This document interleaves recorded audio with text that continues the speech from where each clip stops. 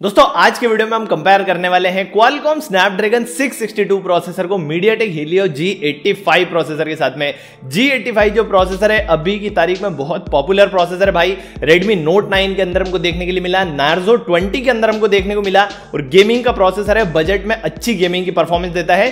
दूसरी तरफ़ रखा है यहाँ पर क्वालकॉम स्नैपड्रैगन सिक्स प्रोसेसर जो कि कल हमको देखने के लिए मिलने वाला है, या आज ही हमको देखने के लिए मिलने वाला है Realme 7i के अंदर। आज के वीडियो में करते हैं इन्हीं दोनों प्रोसेसर को कंपेयर और देख के भाई दोनों में से कौन सा प्रोसेसर बेटर है। फटाफट से कंपैरिजन को स्टार्ट करते हैं, लेकिन कंपैरिजन को स्टार्ट करने के पहले लाइक टारगेट सेट करते हैं। लाइक टारगेट अपन रखते हैं 200 लाइक्स का।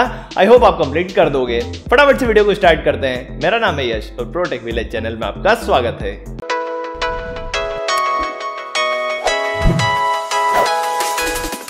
स्टार्ट करते हैं लॉन्च डेट से। मीडियाटेक हीलियो G85 लॉन्च हुआ है 30 अप्रैल 2020 को। स्नैपड्रैगन 662 लॉन्च हुआ है 21 जनवरी 2020 को। तो लॉन्च डेट के हिसाब से MediaTek Helio G85 latest processor है। सीपीयू और सीपीयू क्लॉक स्पीड की अगर बात करें, दोनों प्रोसेसर के साथ में हमको डुअल क्लस्टर आर्किटेक्चर देखने के लिए मिलता है। मीडियाटेक हीलियो G85 में हमको 2 प्लस सिक्स की बिग लिटिल अप्रोच देखने के लिए मिलती है।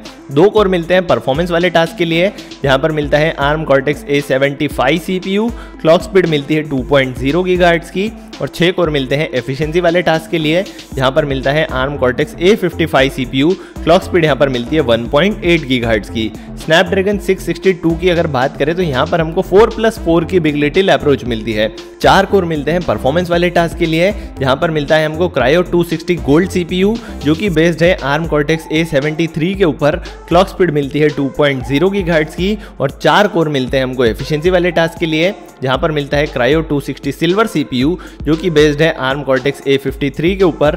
क्लॉक स्पीड मिलती है 1.8 पॉइंट की। ओवरऑल अगर देखा जाए तो दोनों में अगर आप देखो तो क्लॉक स्पीड तो आपको एक जैसी मिल रही है 2.0 और 1.8 की। लेकिन G85 में आपको A75 वाले कोर्स मिलते हैं, जो कि लेटेस्ट कोर्स है। परफॉर्मेंस आपको थोड़ी सी बेटर देते हैं, लेकिन इधर 662 में आपको चार कोर मिलते हैं A73 वाले। G85 में आपको दो A75 वाले मिलते हैं। लेकिन फिर भी परफॉर्मेंस की अगर बात करेंगे तो मीडिया टेक हीलियो G85 से आपको सीपीयू के मामले में बेटर परफॉर्मेंस मिलेगी।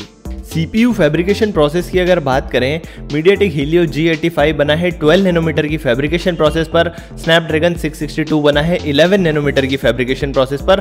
और ये चीज़ आपको पता है भाई कि फैब्रिकेशन प्रोसेस जितनी कम होती है, प्रोसेसर उतना बेटर परफॉर्म करता है, उतना ही कम हीट होता है और एनर्जी एफिशिएंसी उतनी ही ज़्यादा देखने के लिए मिलती है। यहाँ पर सीपीयू फैब्रिकेशन प्रोसेस के मामले में स्नैपड्रैगन 662 बेटर प्रोसेसर है। सीपीयू आर्किटेक्चर एंड कोर्स की अगर बात करें तो दोनों ही प्रोसेसर 64 बिट के ऑक्टा कोर प्रोसेसर हैं, यानी कि दोनों प्रोसेसर में टास्क डिस्ट्रीब्यूशन के लिए और मल्टीटास्किंग के लिए आठ आठ कोर मिलते हैं। जीपीयू यानी ग्राफिक प्रोसेसिंग यूनिट की अगर बात करें मीडियाटेक हीलियो G85 के साथ में मिलता है ARM Mali G52 2 M C two GPU ये वाला जो जीपीयू है 12 नैनोमीटर पर बना हुआ जीपीयू है 1000 मेगाहर्ट्ज पर इसको क्लॉक किया गया है। G85 के साथ में डुअल कोर जीपीयू है, दो कोर यहाँ पर आपको देखने को मिलते हैं।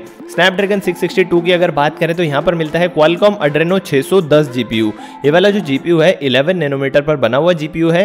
हालाँकि इसको क्लॉक कितने पर किया गया है, ये चीज़ मेंशन नहीं करी गई है। परफॉर्मेंस की अगर बात करते हैं तो थोड़ी सी बेटर परफॉर्मेंस आपको मिलेगी जी एट्टी के जीपीयू के साथ में, क्योंकि जो आर्म वाली जी फिफ्टी टू है, उसका स्कोर अगर अपन देखें तो 81.7 पॉइंट के आसपास आता है।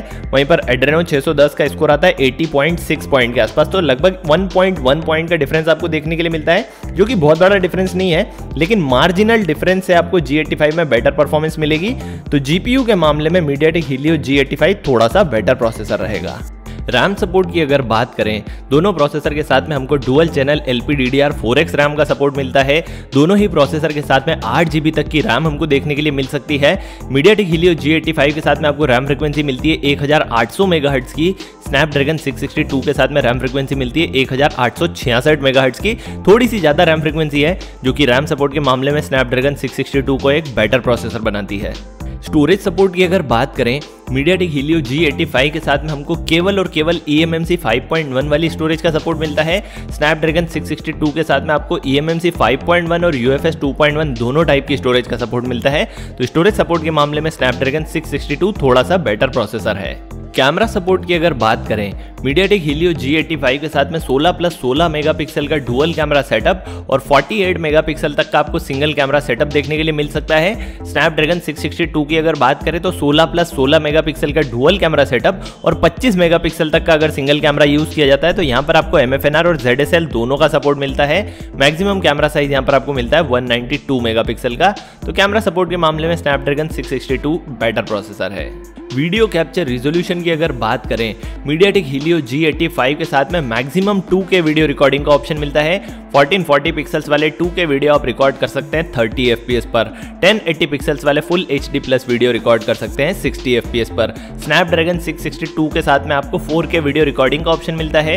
2160 पिक्सल्स वाले 4K अल्ट्रा एचडी वीडियो आप रिकॉर्ड कर सकते हो 30 FPS पर।